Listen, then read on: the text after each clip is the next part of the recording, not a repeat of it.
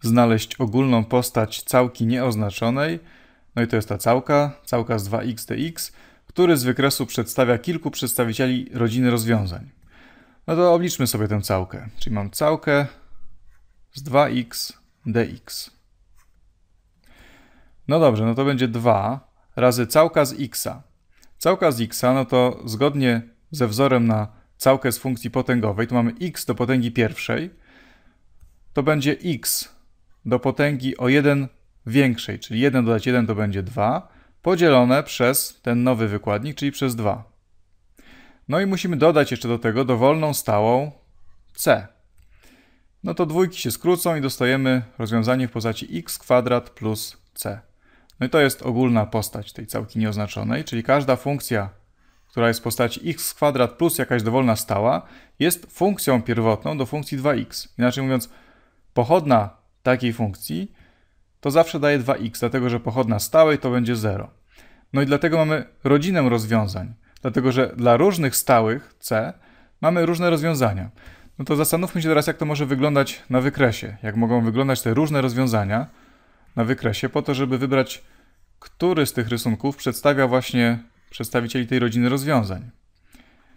No dobrze, czyli zacznijmy może od funkcji po prostu x kwadrat plus 0, czyli x kwadrat dla stałej c równej 0. No to wtedy ta funkcja w zerze jest równa 0. No i to jest taka parabola z ramionami skierowanymi do góry, czyli będzie wyglądać mniej więcej tak. Czyli to jest wykres funkcji x kwadrat plus 0. No dobrze, a co będzie, jak wezmę jakąś stałą większą od zera, na przykład x kwadrat plus 5?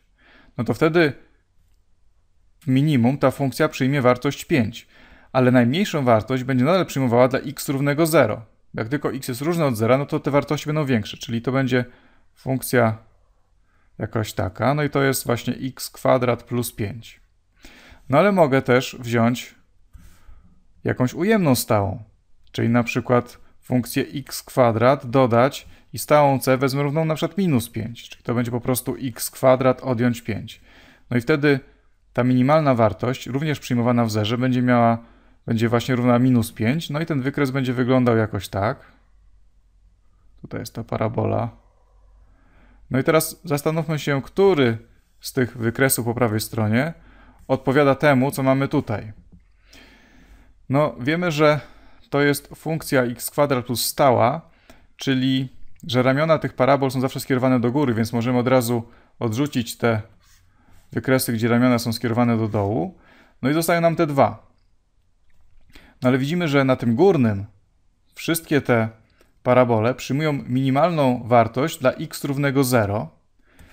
Dokładnie tak jak mamy na tych rysunkach, które tutaj tak dosyć nieudolnie narysowałem. No a tutaj, na tym rysunku na dole, widzimy, że te, mini, że te minima, ta minimalna wartość jest przyjmowana dla x równego, no w tej skali minus 2 to jest. Tutaj te minima są. Czyli widzimy, że, że to nie jest dobre rozwiązanie. Dlatego, że to są takie parabole, które wszystkie mają minimum w minus 2, a nasze parabole mają wszystkie minimum w zerze. Czyli to też nie jest dobre rozwiązanie. No więc widzimy, że odpowiedź do tego zadania to jest po prostu B. Tutaj oczywiście tych parabol można by było naszkicować nieskończenie wiele, ale wszystkie one mają minimum w tym samym punkcie dla x równego 0, dlatego że przesuwanie, dodanie stałej odpowiada przesuwaniu w kierunku y, w kierunku pionowym. Więc tę wzorcową parabolę x kwadrat przesuwamy tylko do góry i na dół i dostajemy całą taką rodzinę właśnie rozwiązań, z których trzy są narysowane tutaj na tym wykresie B.